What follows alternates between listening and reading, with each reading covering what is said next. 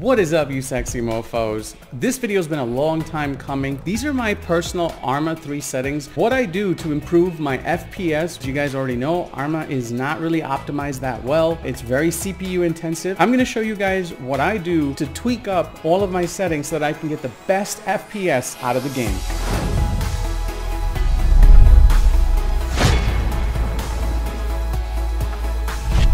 So first things first, let's talk about ARMA 3 parameters. This is something that you have to consider before you even launch the game. If you have the game on an SSD drive, that's great, it's going to launch even faster. These are the default parameters that are here. Now I have a different set of parameters that I like to use. Now I'm going to show you how to set them up before you launch the game. So we're going to go ahead and close out over here. We're going to copy these parameters. By the way, I'll have uh, all of these parameters that I'm using right now in the description below as well. You're going to copy them.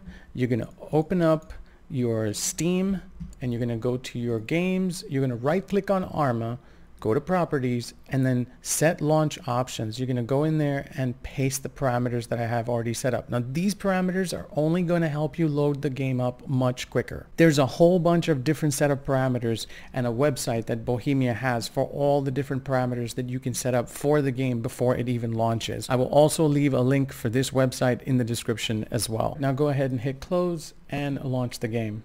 Once the launcher starts up, you can actually look in parameters and now your new parameters have been added over here.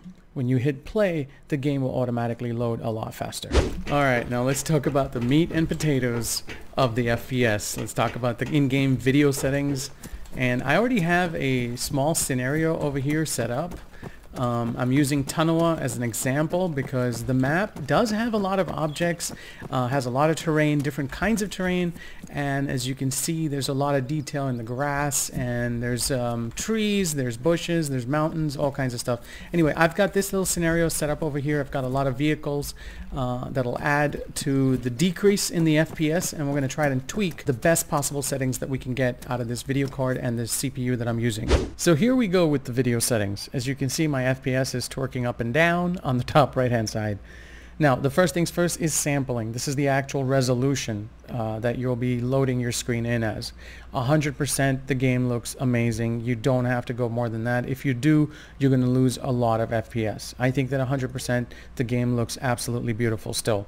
Textures. Now, the lower your textures, the more pixelated your game is going to get. I leave mine at ultra because my CPU and my GPU can actually handle it. Uh, I don't want to mess with it, but if you want to increase maybe a few frames, maybe four or five frames, you can drop it down to standard or high. Even at high, I think it's the quality of the game is really, really good. Some people like to leave it at high and get a few frames, but I personally like to leave it at ultra because I stream, I make videos, I want the game to look as good as possible. Objects. Now, objects to some people aren't really that important. You can leave it at really, really low if you want to. Um, but for me, again, it's important that the game does look really aesthetically pleasing. It looks nice. Everything comes in, renders in really sharp. That way I don't have to go in and mess with it in my video editing software. So this I always leave to high. It's sort of like the in-between standard. If you turn your objects up to really, really high to ultra, you will lose a few frames because when you're loading into a bigger city, uh, you will generally tend to load a lot more objects, a lot more things, a lot more things like cars, vehicles, buildings, stuff like that, and you'll lose a lot of FPS. All right, let's talk about terrain. And when I say terrain, let me show you what I mean. All right, so we've got some beautiful grass here and some bushes. Oh, hello. What up, dude? Time for a nap. All right, so we've got some grass here, we've got some trees and some bushes, and I can really explain to you what terrain, lowering and increasing uh, the levels of terrain and what it really does. Now, if you were to lower a terrain completely down to nothing, as you can see, the grass completely disappears. That's not going to be the case all the time because servers will usually load their own set of rules. When you go into a server sometimes you'll have standard terrain which is pretty much normal for all servers. So this is not going to help you any. You might think that oh I'm going to lower my terrain and I'm not going to see any grass and I'm going to see people running around and everything. It's not going to work that way. Server side they've already got terrain set to standard. So that's you know it's it's going to defeat the purpose. I personally like to have terrain at ultra because it just makes the game look that much better for me the next setting, shadows. Now this one I don't quite completely understand why or how it works, but I do know this. If you leave shadows to disabled, low, or standard, you are going to put more load on your CPU. However, if you leave your shadows to high, very high, or ultra, you're going to effectively uh, put shadows onto your GPU and your GPU will actually take the stress of loading in shadows. Now there's also an option over here where you can load in your shadows uh, 200 meters which is 200 meters is the max and all the way down to uh, 50 meters so that uh, I don't know if you can tell there is no when I drop it down to 50 meters there is no shadow on the cathedral over here However, if I was to jack it up, you can see that the shadows are back on the cathedral because obviously it's more than 50 meters. If you were to lower your shadows to just 50 meters, obviously you'll see a boost in your FPS. Your FPS will go will jump up to about 105. But if you were to do shadows all the way up to 200 meters, as you can see, you'd lose about 20 frames per second. This right here is entirely up to you, what you want your settings to be. If, if you want 20 more frames, you could jack it up to 105 right here by leaving it at 50 meters. But that again is entirely up to you. I want the game to look good even at further distances, so I leave it at 200. Okay, particles this is going to affect you when you're in a multiplayer game. Say you were in a game Battle Royale and you have your particles set to high and somebody's out there throwing smokes at you. It's going to kill your PC. You're definitely going to get a lot of loss of FPS. Uh, I personally leave mine to standard because I don't think it's that important to see how much smoke is generated or uh, when you're running around or uh, your car actually leaves a trail of dirt behind it. That's what particles is. Clouds, I don't even know why people would have this to high. It makes no sense uh, unless you're like in a dogfight or in some kind of aerial battle or something like that. But then other than that, clouds don't even make any sense. All right, PIP. This is a little complicated. It's picture in picture as it explains right there. We're talking about mirrors, cockpit screens, etc., etc. So I'm going to actually show you guys. I'm going to cancel out of this screen and I'm going to show you what real PIP is in the game.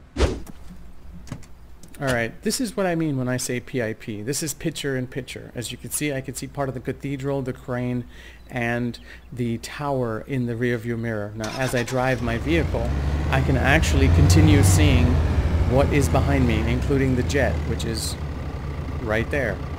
So the quality of, at which the picture-in-picture loads in, that's basically it. That's what that is. That's the quality of the picture-in-picture in the rearview mirror. So that's up to you guys. If you want the quality to, to be great, you can put it to very, very high or you could put it to ultra, but then you're going to lose some frames. You're definitely going to be losing some frames. I like to leave it at standard.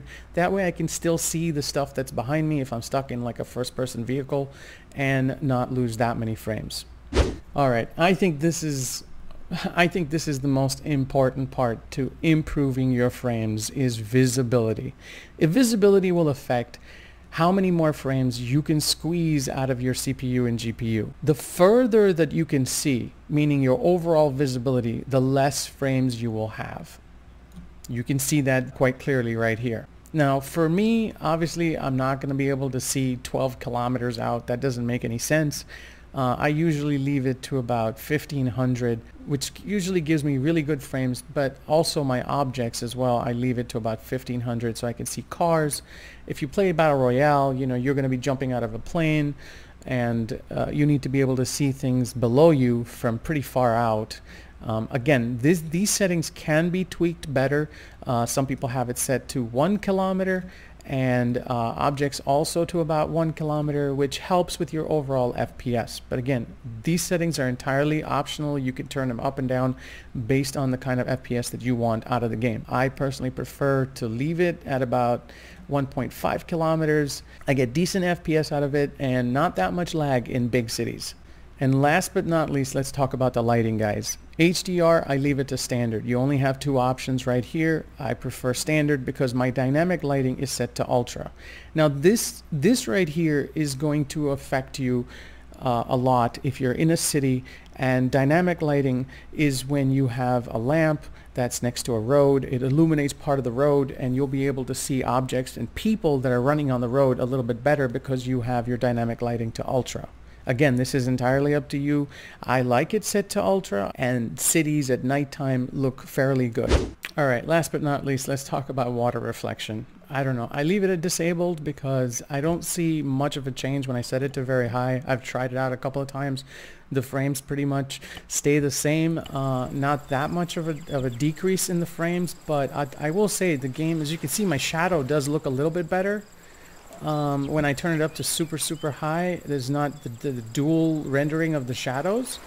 But overall, I just I just don't see that big of uh, an increase in the quality of the reflection and the, the, the water um, the water itself. So I leave it at disabled, entirely up to you guys. You can set your own preferences. It's not going to take that, you're not going to take that much of a, uh, an FPS dump when you set it to really, really high.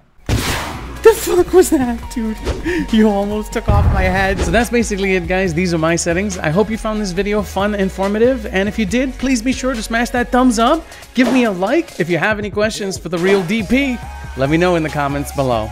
All right, guys, stay strong. Really, really strong. And I'll see you in the next episode. I gotta go. Bonus content coming up.